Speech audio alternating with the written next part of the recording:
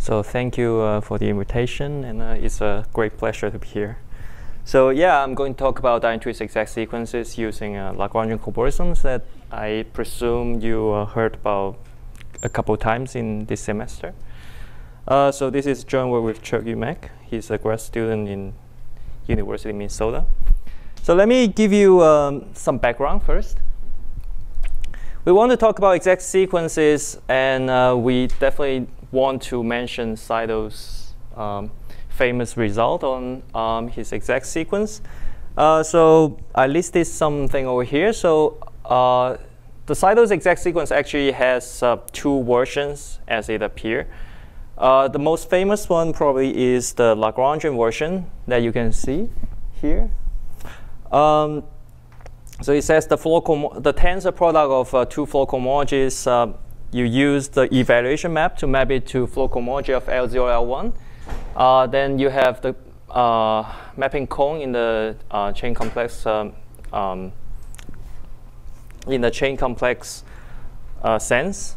This is the uh, Floer cohomology of L0 and then the Dehn twist along a Lagrangian SN of L1. This is the Lagrangian version, and then we also have the fixed point version we consider the Floer cohomology of a symplectomorphism um, F uh, sit in the middle. And then uh, on the left-hand side, you have the Dehn twist. So this tau is actually the Dehn twist of a Lagrangian sphere. So you compose these two symplectomorphisms, and then it maps to uh, Floer cohomology of uh, F itself. And then the mapping cone is going to be the Floer cohomology of F apply on this uh, to, uh, along this Lagrangian Sn with Sn. Uh, if you are familiar with the literature over here, so we use a little bit different uh, conventions than Seidel, so the arrows look a little bit different uh, in its directions, but it's actually the same thing. And also we have a family version of Dehn twist exact sequence due to Wehrheim Woodward. And um, so we uh, in this case, we consider the spherical coisotropic uh, submanifolds C over here. And then you can form this Lagrangian composition when you consider this uh, coisotropic uh, submanifold as a uh, Lagrangian correspondence, then you have a Floer cohomology exact sequence as shown here. So today we'll uh, provide a new proof for uh, all these results later. And then the second part of our background is the Lagrangian uh, surgery and cobordism theories.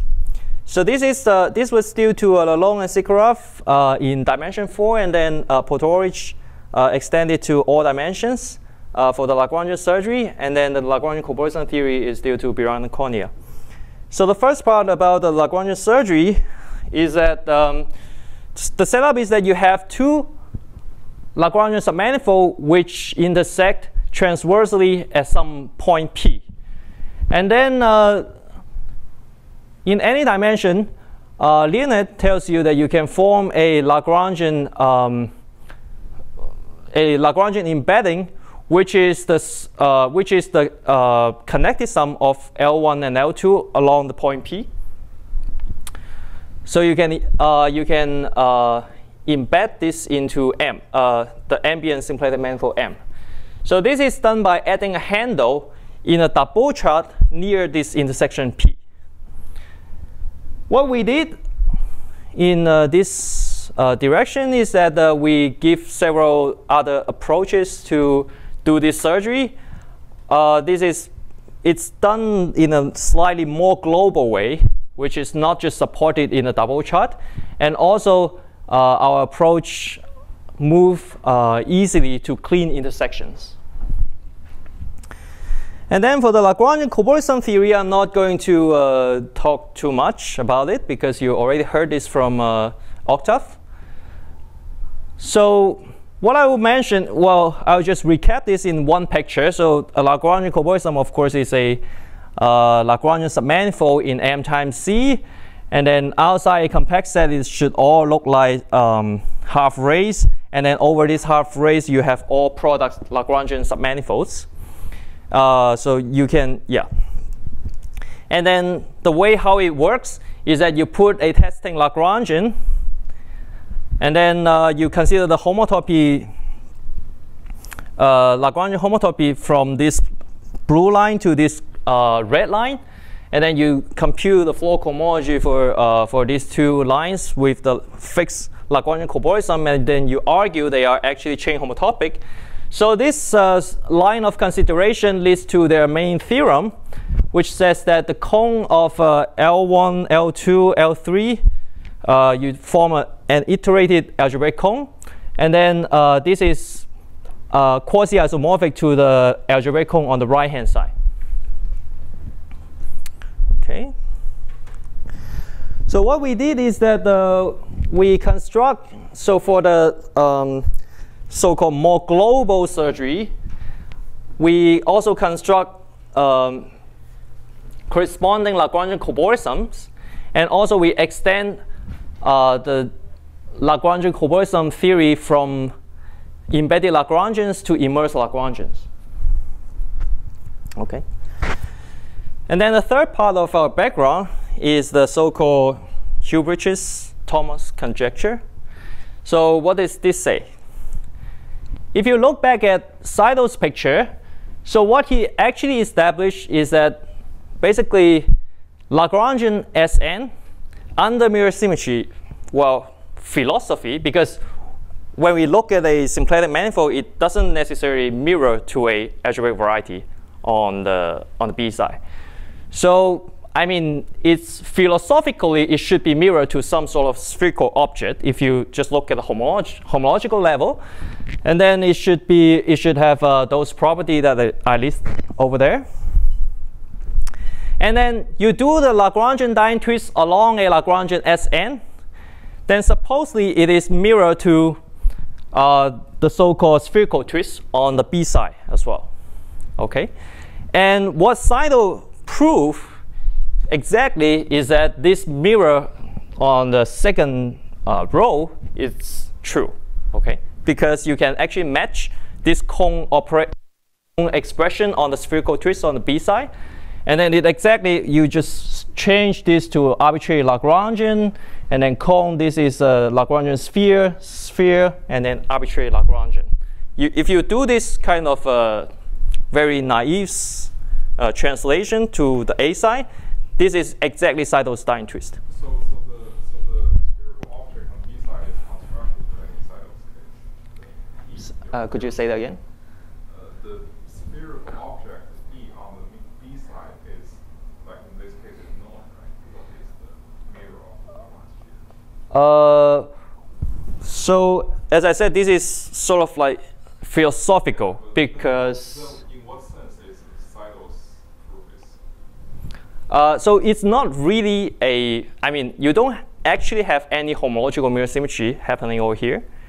But it's just like if you have some Lagrangian sphere on the A side, and for example, if we're in the Calabi-Yau, and then, okay, then A side and B side are both, so A side is a symplectic manifold and B side is an algebraic variety, then this Lagrangian sphere is supposed, well, is really mirror to a spherical object. So that would be true because it's, uh, I mean, it's just by description. It's just by definition over here. But uh, for gen general symplectic manifold, of course, a Lagrangian sphere is, I mean, the symplectic manifold is not mirror to any uh, algebraic variety over C. So, I mean, and this spherical object is only defined on derived categories of coherent sheaf on smooth variety. It should be able to ex be extended to more general categories, but uh, it's not defined yet.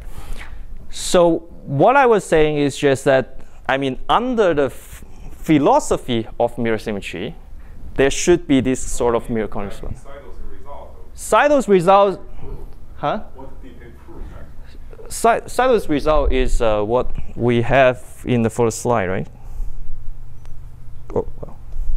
So this Seidel's result is this, essentially. But uh, so basically, you just you, yeah. Well, maybe I should make it more precise. Okay, so Seidel's result. Yeah. Seidel's result is that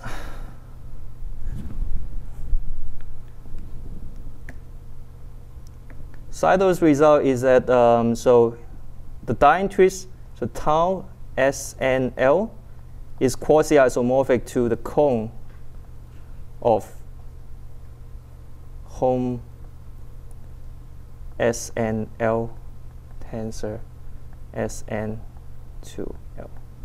So this is Seidel's, this is Seidel's result.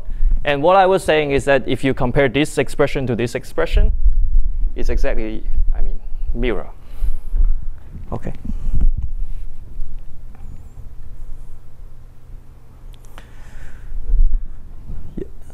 Is that more?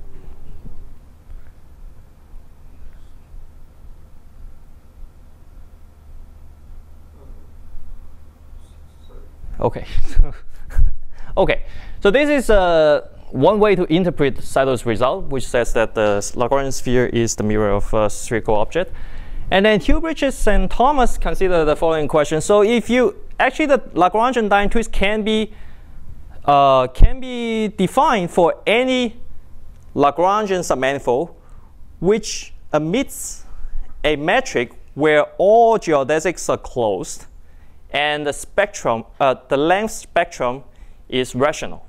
Okay, so uh, in particular, if you put, for example, Lagrangian CPN, you can define a Dehn twist. You just use a geodesic flow, and we'll recall later.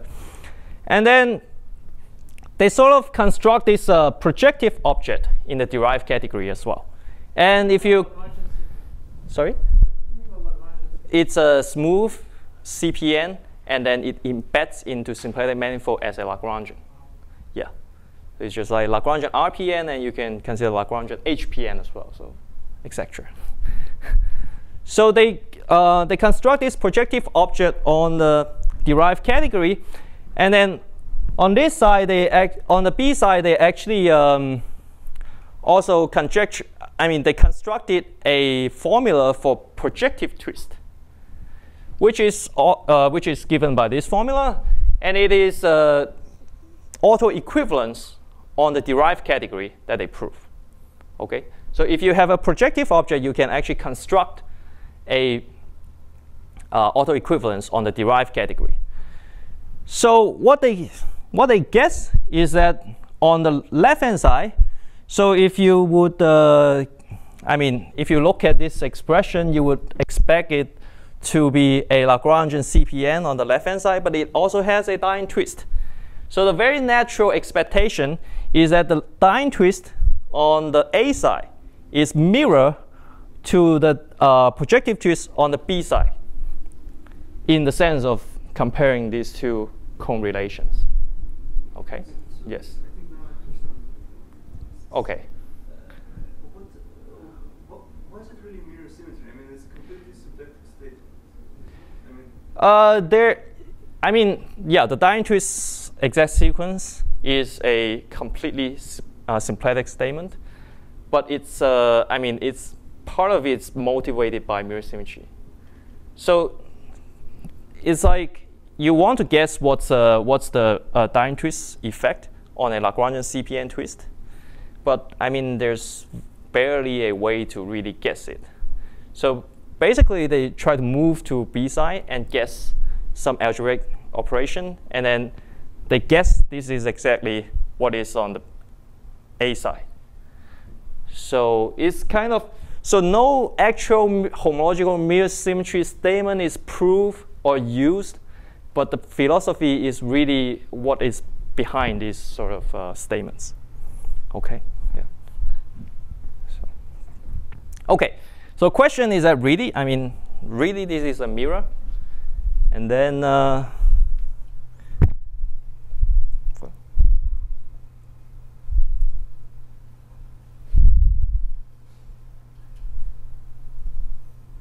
okay.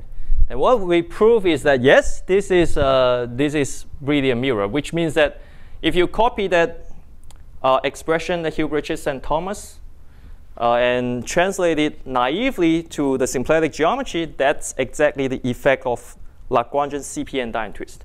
And we prove also for, um, okay, yeah, so there are some side remarks over here. So for example, we also prove this for is true for our Lagrangian RPN twist and HPN twist. Um, and I mean some other uh, Lagrangians that uh, has certain uh, special properties. So uh, yeah, some side remarks is that uh, so first why I mean these spherical objects and projective objects are not like sporadic thoughts um, to come up with.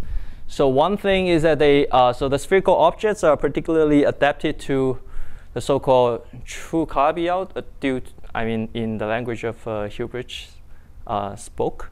Uh, but uh, when I talk in, um, gave a talk in Harvard, I was corrected by Yaos, and he said this is should be called SUN caveat. So it's SB, SUN caveat, and the projective twists are particularly adapted to hyperkähler manifolds. And uh, so the adapted means that the, all line bundles are spherical objects in the SUN caveat, and they are all projective objects in hyperkähler manifolds. And then uh, these two classes of manifolds due to uh, uh, fundamental result, but uh, I think uh, Yau thinks this should uh, part, partly due to uh, Kabi as well. So I mean, I, I don't really know too much in this direction. But in any case, so uh, so these two kinds of uh, so SUN caveat and hyperkähler, they should build they should build all the caveat uh, which is uh, simply connected and compact, built in a sense that they can uh, decompose into products. And also, um, yeah, so one way that you can guess the projective twist um, formula so why they actually guess this uh, projective formula is to look at the Lagrangian S2 Dehn twist, which is also a CP1. So you can, uh, but the Dehn twist along S2 square equals the Dehn twist along CP1, just by definition. So, uh, so you can plug in the uh, spherical twist formula in dimension 2 and then just guess that it actually holds for higher dimensions so that to guess the projective twist formula. And uh, it works for some projective spaces, and we will also mention how to determine some connecting maps. It is not uh, completely done uh, for the connecting maps, uh, but we will mention some cases that it can be done. Okay. And the basic idea of the, of the proof is that so we talk about mirror symmetry without really mirror symmetry, but the proof also has some flavor of uh, mirror symmetry. So uh, I will mainly uh, focus on the spherical twist because the projective twist case has a little bit more um, things, uh, details to explain. But the basic idea should be clear uh, in a spherical twist case that we provide a new proof. Uh, so if you recall that the spherical twist on the B side is defined by a Fourier-Mukai transform, and then the Fourier-Mukai kernel is a cone uh, written over there. So you have spherical object and then you uh, exterior tensor product. And then uh, there is a trace map to the diagonal. And then you take the mapping cone of, this, um, of these two guys. Okay. And then the philosophy that uh, we are sticking to is that symplectic Fourier-Mukai transform should be realized as a Lagrangian composition and it's not quite a mathematical statement again. So, uh, but we just believe this is true. Okay, and I'm actually currently trying to formulate a mathematical statement. But at least if you look at the uh, Fourier-Mukai transform and then you insert everything to be a divisor, and then you look at the output, it would look exactly the same. I mean, the formula is exactly the same as the Lagrangian composition that you write x0, x1, and then this guy is in L0, that guy is in L1, whatever. So it looks exactly like that. And it works very nice uh, in our proof too, this philosophy. So we have uh, every reason to believe this is actually, I mean, this actually has some uh, mathematical meaning, okay? And the second thing is that you want to do the cone in Fukaya category. So because uh, we have a cone in here, we want to do this cone in the A side too. Then we kind of uh, hold a religious belief that uh, this can always be done in Lagrangian cobordism. But this is not, I mean literally true because uh, so so it can't quite work if you really directly work on Seidel's uh, cone formula. So you want to cone these two guy, this guy with this guy. Uh, so the the whole point is that this uh, twisty complex, so this vector space portion, does not quite work.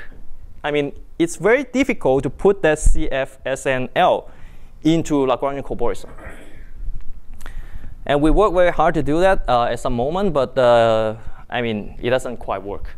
So we bypass it uh, by passing it to the functor level that we look at the product symplectic manifold. So the upshot, so basically one, one sentence re, uh, recap on our proof is that we use Lagrangian cobordism and surgery on the products in manifolds. And then uh, we get the graph of Dehn twist. So that's on the B side. And then this is mirror to the cones on Fourier-Mukai kernels, which is like this. And then we prove that the graph of Dehn twist, so basically is um, mirror to the functor of the spherical twist on derived categories. So that's basically the philosophy behind the proof. So let's go a little bit into the details. So first I need to introduce you how we do the surgery. So um, the setup, the basic setup is that we first choose a so-called admissible function. Uh, the graph is not, does not look very nice.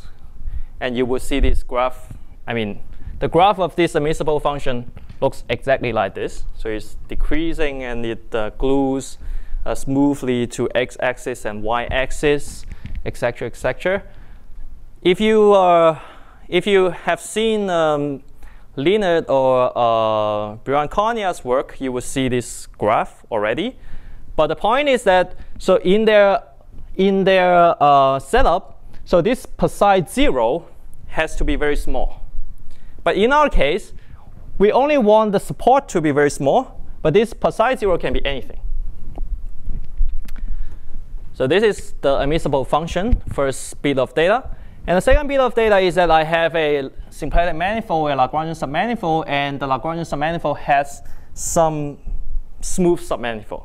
Okay, and then I form a conormal bundle in the in its uh, Weinstein neighborhood. And then the third part of the data is that you use the psi t, uh, sorry, the phi t, to be the Hamiltonian flow generated by uh, this uh, norm in in the cotangent vector, uh, which is a smooth function in the Weinstein neighborhood of Lagrangian L1. Okay, and then this h psi is the is just the geodesic flow cut off by this uh, yeah, cut off by the psi function. So basically, in near the zero section, it can go very far, but uh, outside it just doesn't doesn't run at all.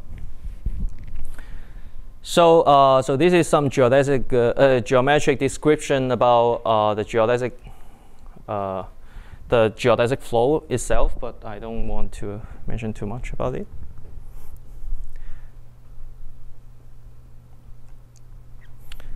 So uh, there are some small cartoon pictures of this, uh, how, how you should look at H plus psi. So if this is the uh, conormal bundle, then it flows out near the zero section, and then it doesn't flow as much when you go up. Uh, and then that's an, like a 3D cartoon picture, whatever. So the lemma is that um, if you choose this psi to be admissible, in the sense of uh, uh, Long, Sikorav, and Biran-Cornea, then uh, your, hand, your Lagrangian handle that you flow out, so this psi is called the flow handle. This flow handle is the same as the handle that they actually attach in the double chart. But one point is that our flow handle can actually go beyond injectivity radius. And for them, it's very important that you restrict on the double chart, and then you can actually implant a local model, which is just T star Rn.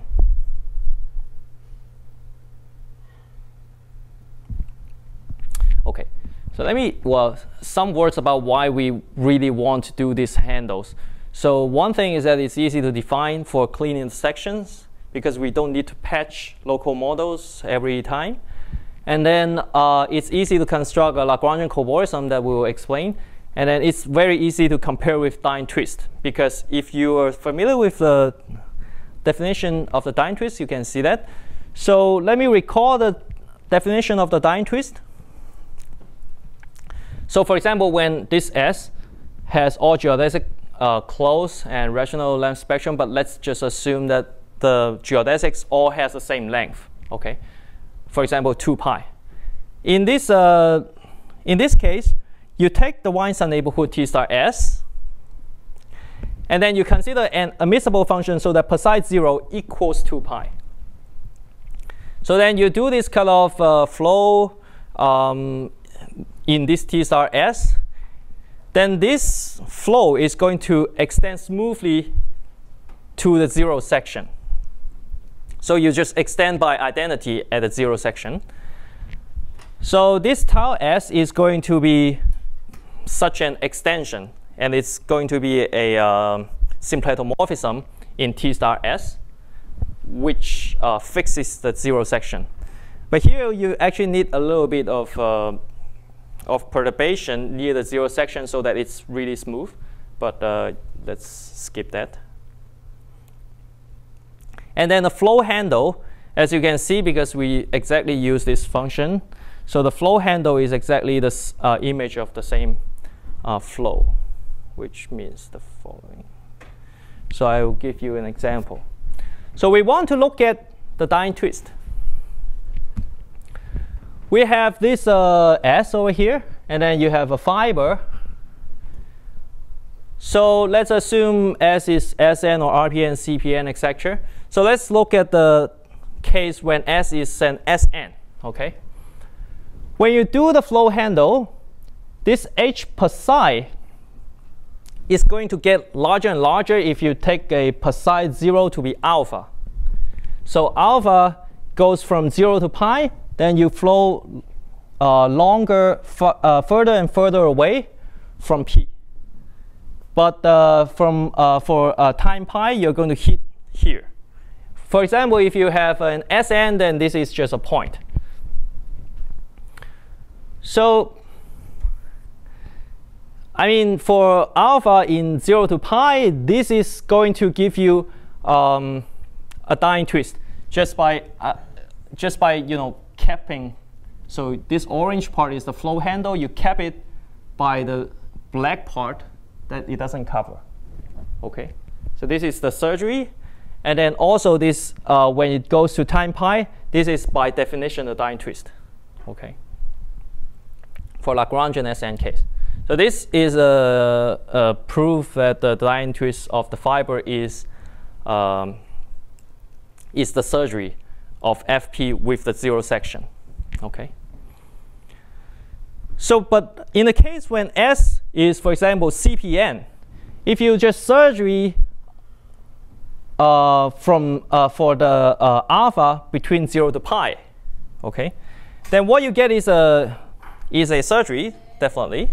However, this is not the Dehn twist because for Dehn twist you need to flow for time 2 pi to go back to itself. You can't just go to the opposite divisor. So that's why you need to go further. For example, so you need to go beyond the injectivity radius. And then you, well, and then this is just um, within the definition of uh, Dehn twist, uh, of, the, uh, of the surgery that I defined. You can just go beyond, and then you can glue this top part. And that thing is the Dehn twist, okay? You can also show that actually this Dehn twist can also be factorized so um, as FP surgery with CPN first. So you surgery uh, when this uh, parameter goes uh, from 0 to pi. But then after you do this surgery, you surgery another copy of zero section along the opposite divisor. And then this double surgery is going to give you the Dehn twist of, uh, of the fiber. Uh, maybe so maybe this uh, I try to supplement a picture that explains my point uh, in the simplest case when S is RP1. Okay. In RP1, what I was claiming is that you can do two things. One is to do the flow of time 2 pi. So on the top, you want to flow one round. So on one round, and then on the bottom, you also flow one round. So this is the Dehn twist of uh, RP1. Okay.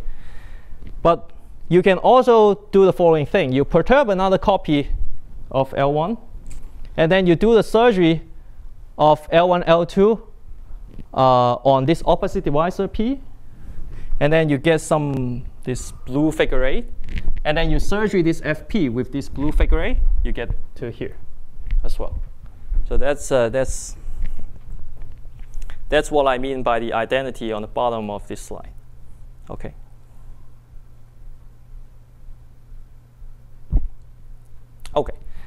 So there's uh, some further extension to this surgery story. So for example, if you have a Lagrangian in uh, L in M, and then it has a so smooth submanifold again, and you can decompose T star L into the direct sum of two uh, subvector bundles. So basically, you can just take any distribution, and then you just take the orthogonal complement of it. So you can get E1 and E2. And we assume that E2 is transverse to D, this uh, submanifold. Then what you can do is that you can do the flow, not using the geodesic flow, but using the flow, um, you can flow only along the direction E2. So basically, you, you, well, one thing you can do is that you can flow along the uh, normal direction of D using some metric. But now here, it doesn't, this E2 doesn't quite, uh, it's not quite relevant to the metric. Instead, you just choose any distribution which is transverse to D. And, um, and the uh, Hamiltonian function can be just write be written like this. So you use psi to cut off, but you use the projection to E2 and you take the norm in that direction. So you can look at this picture. Uh, for example, when it's a product, when it's a product, you have a Lagrangian like this. The normal directions are, you know, can be uh, very bad, but you can project it to E2, then it all always flow along this E2. And then your flow handle is going to look nice. And that's very important for our uh, construction later. In any case, so uh, you can fit the Lagrangian cobordism into this framework, I mean, all at once. For example, if you have a Lagrangian L1 and L2 and you know they intersect trans, uh, cleanly in D, you can, you can construct a Lagrangian cobordism immediately. For example, you put this L2 times basically R, and then L1 times um, the imaginary axis. Then they again cleanly intersect at this origin along D. And then you can apply flow handle, uh, whatever version that we mentioned before. And then you have one more direction, which is, which is R direction, but we just add this, R, do this uh, direction, direct sum of the R direction in the product metric. And we can uh, do the flow handle again. And if you do the flow handle for this product Lagrangian uh, submanifold, you can look at the projection, it looks exactly like this. Then we just use a trick due to Biran-Cornea. You remove the uh, bottom half, and then you try to straighten it up, and then you pull something out. And this guy is going to be the surgery itself. And then you have L1 and L2 at the ends. And that's how you uh, construct Lagrangian cobordism. Yes?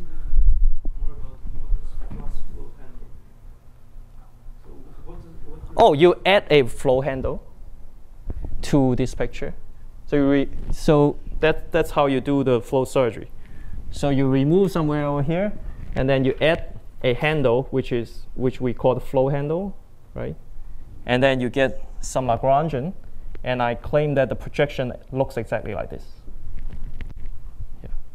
So the only thing to address is that uh, so you have one more direction so what you do with that direction that I'm telling you that you just use this R direction and you add it to your tangent direction and then you use the product metric. That's all. That's all you do. Yeah.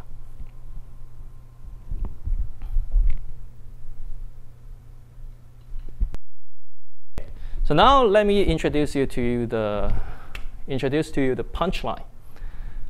The main example we have is that we consider a symplectic manifold M, and we take the product with its in uh, with its uh, negative, and we have we assume that we have a Lagrangian Sn in M.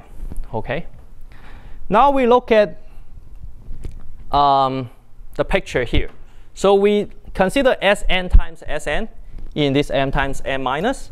And then we take the diagonal, which is, so these are two Lagrangian submanifolds. They intersect at the diagonal Sn, okay, cleanly. Now you do the flow surgery, but not just the usual flow surgery. The, uh, we want to use the so-called E2 flow surgery that we just talked about. E2 is the direction that on the second factor, okay? So if you do this flow, you can just check the expression. You project your uh, cotangent vectors uh, of t star Sn times t star Sn, so you only retain the cotangent vector on the second factor. So xp, xp on diagonal. So you only take the second p factor. So you do this, then your uh, Hamiltonian function is psi composed with just pi 1 p, uh, well, actually pi 2 pp, sorry. So pi 2 pp is just p. So you use psi norm of p along the second direction of t star s2, uh, t star sn. So, but psi norm of p is exactly the flow, uh, the Hamiltonian function that you use to define the Dehn twist, right? So that's why you, the image of your flow handle, the first factor does not move at all because you project it to the E2 direction. And the second factor, it just flow exactly like the Dehn twist um, Hamiltonian. Okay, but of course you have you pick up a negative one, uh, a negative power on your uh, Dehn twist because uh, the second factor over here is a negative, has a negative in the symplectic form. So the whole thing is that you get the following uh, surgery exact sequence, Sn, Sn, surgery with diagonal along this delta Sn equals the graph of Dehn twist inverse. That's the surgery um, equality. Then you just apply the cobordism construction that we had. What you have is that on the left-hand side, you have Sn times Sn for the first n. The second n is the diagonal. On the right-hand side, you have graph of twist inverse. You can put your testing function, uh, your testing Lagrangian n times gamma 1, n times gamma 2 as in the Lagrangian cobordism formalism in general. And if you put n equal L0 times L1, you can see that it exactly recovers the Seidel exact Dehn twist because you can use Kniff formula for this factor. And then this guy Floer cohomology with this guy is L0, L1, and this guy with this guy is L0 Dehn twist L1.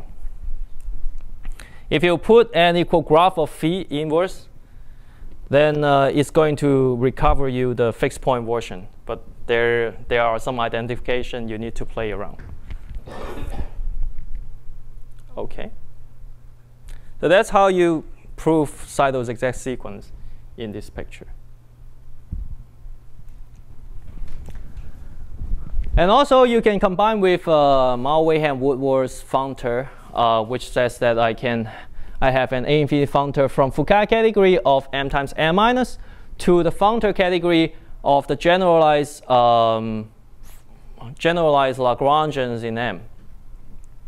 Uh, but it can actually, so that generalize can be removed if you only consider the product Lagrangian or graph of symplectomorphism, which is the case for our uh, long exact sequence. So you actually have a functor level cone. The functor, uh, well, the functor, the functor is of course that for diagonal, the functor is identi uh, identity functor, and this guy is the functor induced by the Dehn twist, and this one is the that CFSNL tensor Sn. So that, that's uh, So you have actually a cone in the functor level, and then if you fit in this uh, fit in an object to the functor level cone, you can get the object cone that we uh, that I just wrote down for Guangbo in orange a few couple a couple um, slides before. So oh, I wrote it down here. So you fit from this um, you fit L to this functor level cone, you get the object level cone that um, Seidel originally obtained. So uh, we also have a corollary if you are interested in the functor level cone, uh, the functor level category that uh, if you have if you consider the symplectomorphism, completely supported symplectomorphism of any AD singularity, then this sort of uh, uh, then these guys is going to uh, induce functors on the Fukaya category, and these functors will be split generated by uh, actually compositions of spherical Dehn twists along vanishing cycles of these AD uh, singularities. And this, uh, so we did it for the AN type, and then Ailsa helped us with the D and E. Uh, I should mention that in before, we know that in dimension four, uh, the symplectomorphism group, uh, the completely supported symplectomorphism group of AN Milnor fiber is generated as a group up to Hamiltonian isotopy by vanishing cycles. And it is still not known to be true in dimension four for uh, D and E type singularities. A few remarks here is that uh, in our proof, we also obtained some new information. For example, in the monotone case, Seidel's exact sequence holds for, uh, so we know that it holds for coefficient z if you work also on the orientations too. We expect it to work, but uh, it definitely work on uh, coefficient z2. In before, if you want to work on uh, monotone cases, it is known only for Novikov coefficients. Um, so this piece of new information is a combination of our method with uh, Biran Pauli complex uh, formulation. So for um, the second remark is that you can, so now we actually set up a very uh, convenient framework for proving Seidel's exact sequence for general symplectic manifolds if you can improve the uh, transversality issues for number one, the um, Lagrangian cobordism formalism, and then number two is um, is this isomorphism, which is due to FOO uh, in their anti-symplectic involution paper. So actually, this I thought this would be a some easy result even for general symplectic manifold, but it turns out not to be true, even if you assume the transversalities. Because uh, there are some sort of uh, local system you want to make it um, natural on diagonal, for example. So there are some issues to address, address in, uh, in FOQ. So also we can prove this uh, uh, the family Dehn twist formula for fiber coisotropic. So the fiber coisotropic, I give you the definition over here. So it's a, a fiber coisotropic is a fiber bundle over some symplectic manifold with fiber equal spheres. And these spheres should be uh, isotropic uh, leads. And then um, for it to be fiber coisotropic, I should have uh, this formula holds if you embed V into M, um, 2M plus 2D, D is the dimension of the isotropic leaf. Once you have these, then uh, we can construct a Lagrangian cobordism with one end equal diagonal, and the other end is this V tilde, which is kind of uh, famous uh, for fiber coisotropic. It's a associated Lagrangian submanifold in M times M. So you can do the surgery, and then you get a graph of Dehn twist uh, tau v inverse. In this case, then you can recover uh, Wehrheim Woodward's family version as well. Del delta is always a diagonal of m times m. Yeah. So again, if you have stronger transversality results on Quilts and uh, cobordism theories, this can use family version on general symplectic manifold as well.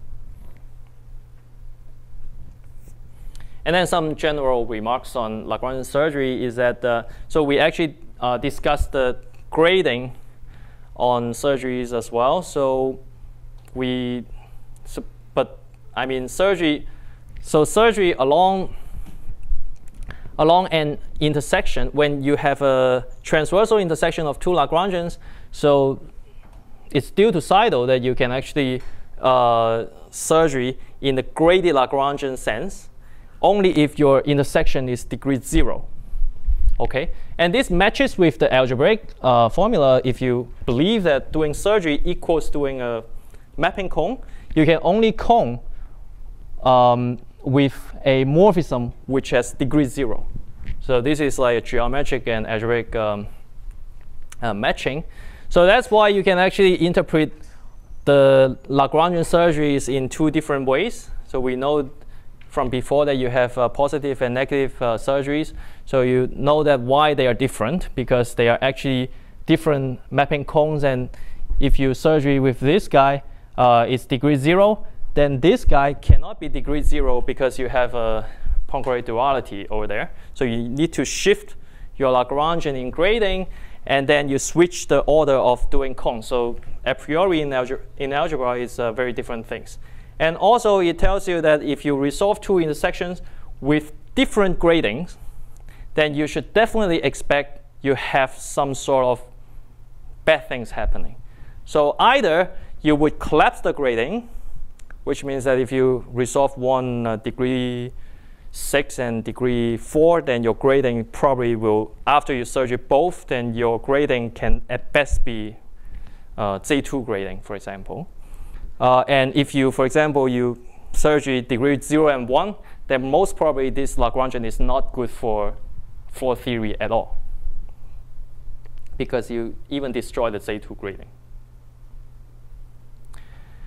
Okay, so uh, after these uh, general remarks, so we uh, so this is our main uh, theorem for the Lagrangian CPN Dehn twist.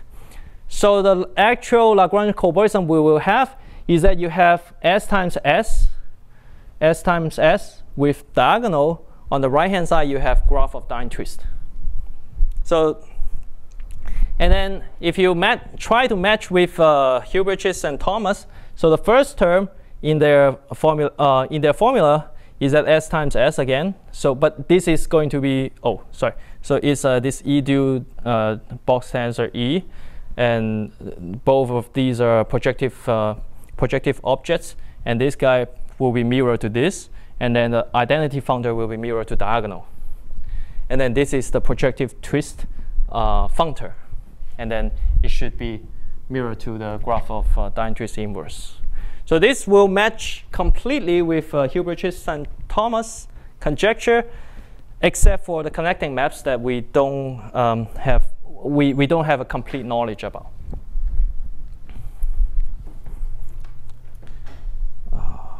Okay, so I have 10 more minutes. So uh, we prove the same formula holds for uh, RPN, HPN, and we also have a family version of projective twist. So you have a coisotropic, uh, projective coisotropic manifold, and you still have this uh, family version too, just like Wehrheim Woodward. So I want to mention a little bit about the uh, connecting maps and then motivate this uh, immerse cobordism formalism. So the connecting maps in uh, Lagrangian cobordism in general is counting these um, holomorphic sections of this orange part. Uh, and then you can actually uh, do a gluing um, argument and then you would have a multiplication on the left hand side but here you still need to consider some sections where the infinity has some asymptotic uh, behavior, which is basically the intersection of these two Lagrangians on fiber. So this is in general hard to find, so especially for these sort of sections. And um, Fukaya etc. has a very long paper, chapter 10, in their book, which is not actually in their book. But uh, so they kind of deal with this uh, situation a little bit. Um, But we uh, notice a very simple fact in algebra that if you have a cone according to some uh, morphism, and then you can rescale this morphism by some invertible, uh, invertible element in the base field, then actually these two guys are actually quasi-isomorphism. And, but that's usually what you care about only. And the point is that if you look at Seidel's exact sequence, for example, you have diagonal with Sn, Sn, but the Floer cohomology of this uh, H0 is rank 1. So the only thing you need to argue is that the morphism over here is not 0. Then the cone is completely determined just by just because the rank is 1. So that's how we uh, obtain the formula for uh, obtain the connecting map for uh, various uh, exact sequence that was known before. And especially this trick is going to recover FOO's uh, surgery exact sequence, uh, well, except for transversality um, issues. So if you assume, if you assume uh, L1, L2 intersect at one point transversally, and then assume your favorite transversality uh, setup, and then you would have this long exact sequence. And you also know that the connecting map over here is exactly that point P and there's no choice basically. And then this can also be extended when you have uh, L1, L2 intersect at a connected, clean, uh, cleanly intersect at a connected submanifold. Oh.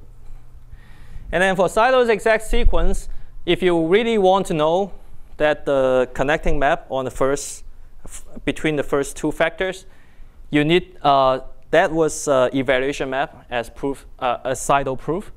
Then you need to uh, really identify, because we already know that delta and SN, only has rank 1 in uh, Floer cohomology 0 degree. Uh, so, but you want to identify this with uh, this uh, CF, SN, L0, CF, L1, SN, etc. Then you need to do some quill unfolding, but I'm not going to explain too much on that. But there is a way to do this uh, quill unfolding to identify that kind of rank 1 morphism with, um, with the evaluation map. Okay, to get the connecting map of a CPN twist, uh, we are not uh, very, we are not completely successful. Uh, but uh, recall that if you if you have a fiber, cotangent fiber of the, of the Lagrangian um, CPN Weinstein neighborhood, you have this uh, equality. So the, so the surgery, when your parameter goes from uh, pi to 2 pi, equals a Dehn twist along CPN of the fiber, and it in turn equals the double surgery of FP, and then L1 and L2 are two copies of the Lagrangian CPN. So in this case, if you assume the Lagrange, the given Lagrange, uh, well, basically the arbitrary Lagrangian intersects the Lagrangian CPN at only one point, then we can completely determine all the connecting maps. Uh, for example, so you basically you have two uh, surgeries to do over here. The first thing to do is that you want to get from L1 to L2. You surgery and you are going to get an immersed sphere. If you recall from that RP1 picture, you're going to have a figure A, which is immersed Lagrangian. And then S to S, and then the degree should be 2. So that's why the morphism should be that um, CP n minus 1 divisor in this connecting map. And then you have an immersed Lagrangian S um, hoop arrow. And then over here, you have a immerse Sn with this L, it intersects actually at two points, but only one has degree zero. So that's why you can also determine the uh, connecting map here as well. And then it's going to give you the Lagrangian, the Lagrangian Dehn twist according to this surgery formula. And this works for all RPN, CPN, etc. And this will match Huybrechts Thomas for even for connecting maps in that uh, special case. And this motivates our study for uh, Lagrangian immersed cobordisms. Uh, so one thing well, of course, you would ask, okay, so what else do I need to do if I know Lagrange immersed Floer cohomology already? Um, so for SNK, so this works perfectly well because you don't need to involve immersed Lagrangians. But if you look at the immersed Lagrangian S hook, and you look at this uh, surgery, uh, look at this uh, incurred by the surgery, okay? So you would have an immersed point along this line. But when you surgery over here, you think of that figure A, and then you have this uh, vertical line, it will resolve that self-intersection. So that self-intersection would disappear on here, of course, because it is this is just a Dehn twist. Um, yeah, this is just a Dehn, well, sorry, this is, uh, yeah, this is just a Dehn twist of L. So it's completely embedded. So your immersed points will disappear in the middle, which means that it cannot be a clean uh, intersection. So your Floer theory is going to fall apart if you use this uh, Lagrangian cobordism immediately. So what's the correct formalism is that, so you can see an octopus over here. You have a um, Lagrangian, immersed Lagrangian submanifold, and then it's embedded everywhere inside a compact set. Outside compact set, it doesn't look like straight lines anymore. It looks like some, okay, it looks like exactly this shape. Only immersed points appear on these blue dots and these uh, red dots. So you kind of perturb your immersed Lagrangian times R into some cross uh, region projection over here. And this guy we call the bottleneck. And it's actually adapted from uh, also from uh, Biran Cornea at some point. So they use they didn't use immersed Lagrangian, of course, in their uh, previous works, but uh, I mean, in spirit, it's uh, similar to one trick that you use, they use. Okay, but in any case, so that's uh, that's the immersed Lagrangian cobordism that we consider. So it should look like this. Then this guy, of course, has um, um, clean self intersections, and then uh, everything is fine. Okay.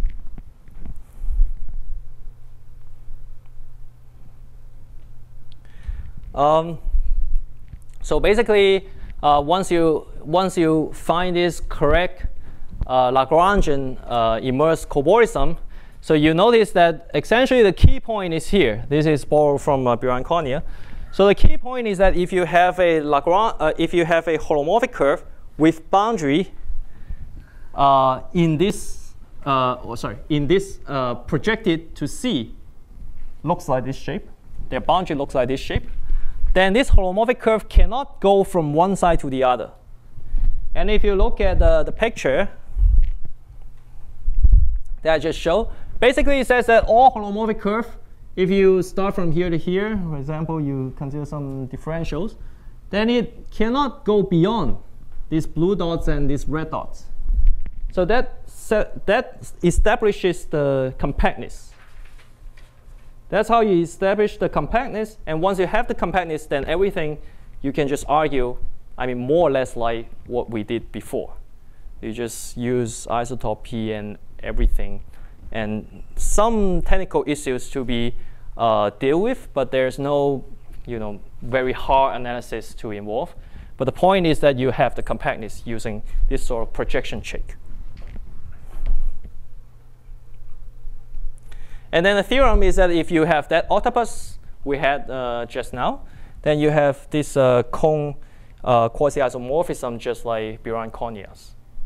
Okay, and then now L1 to LM, they, they are supposed to be Lagrangian immersion in this case. Okay. Uh, well, there are some prospects, and uh, but I think I basically go over time. Uh, well, just one quick remark is that uh, so so this is suggested to us by Richard Thomas. You can consider RPN. So everything that I said works in Z2 characteristic, uh, characteristic, characteristic 2. Uh, if you want to move to characteristic 0, we expect no extra complication except you need to correct the signs. But for RPN, this is different. if you want to just use this uh, Hilbert's uh, Thomas formula and move it to characteristic zero, for RPN it has some problems. Uh, so first, RPN, if you consider the Floer homology, it doesn't look at all different in characteristic, uh, for example, in base ring, uh, base field C, and then it doesn't look any different from the spherical objects. And also, you're going to get contradiction if you just upgrade that formula directly. So the thing is that, uh, so there are some new phenomenon that appear here. So because uh, I think the reason is that we are blindsided by the spin structures. Because for RPN, you have two different spin structures in the, I mean, in general. And then in what we talked about just now, we don't care about spin structures at all. In this case, the thing is that the two spin structures give you two different objects in the Fukaya category. So if you just plug in the formula, the formula uh, and Thomas gave you is that you have S tensor S. But now you should get S minus, so these two objects are different and they surgery with the Lagrangian. So you should get S plus tensor S minus given by the two uh, spin structures. So that's why it gives you some different autoequivalence in derived. Supposedly it should give you some different autoequivalence in the derived category as well. If you go, go along this line on the A side, and then you should get some mirror prediction on the autoequivalence on the B side too. And this is an on ongoing work uh, about this RPN twist. And I think I already go over time, so thank you for your attention.